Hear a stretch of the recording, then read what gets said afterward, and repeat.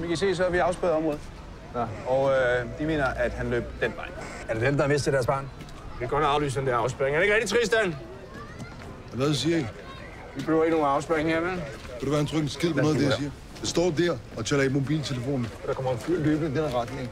Tager min søn op af vandevognen og løber i den retning. Jeg får dem til at ringe først, så løber jeg efter ham ned til skaden der, der står en parkeret bil og holder. Når ikke se pladerne, da den når kører et sted. Jeg vil skyde på, at han var østeuropæisk. Hvad? Jeg løber efter ham, gider? Dan, Åh, oh, hey, hey, hey, hey. Vi venter lige her, venter lige her. Se lige på mig, Sanne. Hey. Se på mig. Hvor er sofasænden? ved vi ikke. Nogen tog ham. Hvor er sofasænden? Ved vi ikke. Ved det ikke. Der er nogen, der tager ham for helvede. Du har taget ham. Jeg tror ikke bare, jeg har glemt ham et eller andet sted. Ja.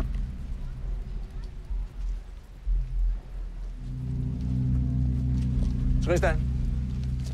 Tristan, kom lige her. Hvad? Kom lige her. Jeg ved godt, du lyver. Jeg ved godt, du står og lyver. Hvad snakker du om?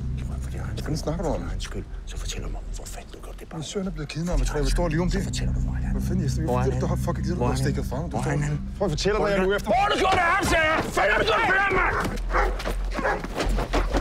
Hey, hey! Har du fucking problem? Har du fucking problem?